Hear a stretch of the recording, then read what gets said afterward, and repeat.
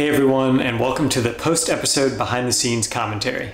Episode 1 covered the first 52 miles of trail, from Springer Mountain north to Indian Rock Shelter. To get to the start of the trail, I used White Blaze shuttle services. They were awesome, and I left a link in the video description to their Facebook page. On night one, I camped beside the Toccoa River, which is where the BMT crosses it via an iconic 270 foot long wooden swinging bridge. You probably noticed the random dog that showed up while I was pitching my tent. He actually kind of surprised me, and I couldn't find his owner for a little while. Luckily for me, he kind of just settled down and chilled out by my tent, and eventually, after 15 or 20 minutes, his owner showed up, and the two were happily reunited.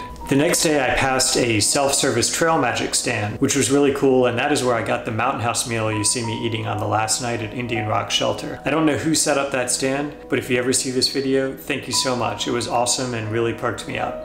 Indian Rock Shelter is the only place to stay on a fairly long stretch of private land, so I ended up camping there. It was really clean and nice, I actually quite liked it, except for the fact that there were a lot of those black carpenter ants crawling around the floor of the shelter. So they crawled all over my gear. And then at night when I was trying to sleep, they were crawling up my legs. So it was really difficult for me to get a good night's sleep. But other than that, the place was great. Episode 1 is really just a warm up. It's about me getting into a groove and getting used to being on trail again. Trust me, there's definitely more adventures and challenges to come in episode 2. If you enjoyed this video, please do take a second to hit the like button, subscribe to my channel, and share it with a friend.